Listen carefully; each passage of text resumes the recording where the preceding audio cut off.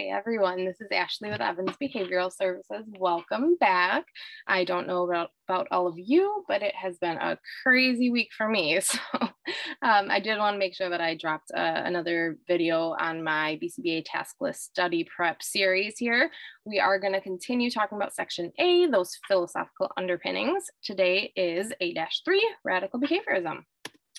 Um, so uh, just a brief overview or reminder, philosophical underpinnings, those are those building blocks, um, all the you know scientific backing and things like that, dimensions of ABA, philosophical assumptions that we use to guide our practice.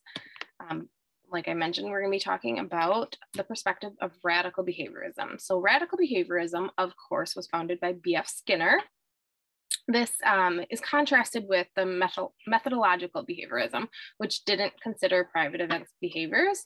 Um, but B.F. Skinner did. He had acknowledged under radical behaviorism that private events are behavior.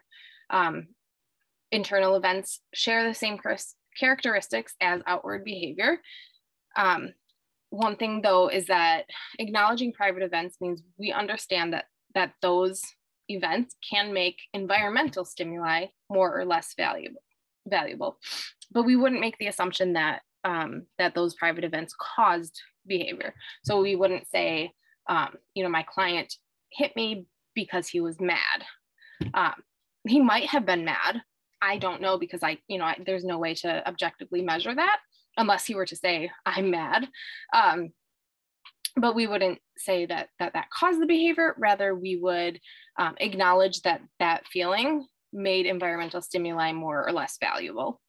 Um, so some examples of private events, emotions, thoughts, feelings. So like feeling sad, thinking about your study plan, those are all um, private events that we would consider behavior, but would not refer to as causing behavior, um, causing like additional behaviors. Um, so yeah, that's a that's a very brief overview of radical behaviorism.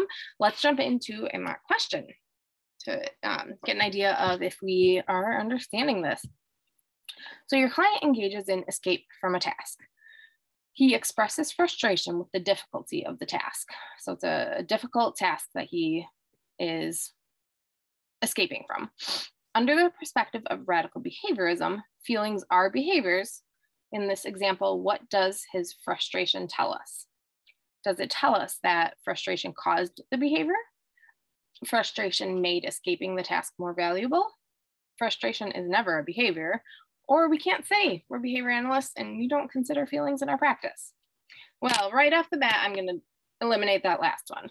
Um, as behavior analysts, we, as we just talked about, do understand and recognize that under radical behaviorism, that feelings are behavior.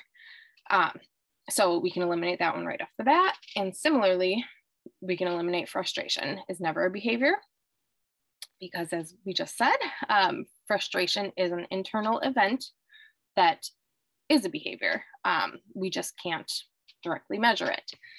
Um, next, let's eliminate A, frustration caused the behavior. So um, in behavior analysis, there are four functions of behavior, attention, escape, um, automatic, and access to tangibles. Um, so we wouldn't say that frustration or an emotion caused a behavior.